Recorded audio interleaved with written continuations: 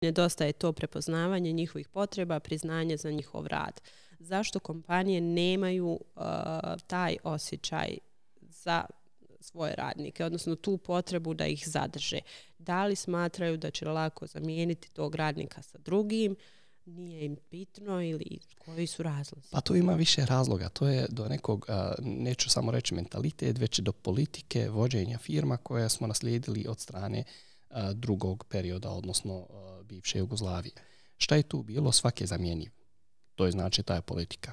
Ne sviđati se, nastavi.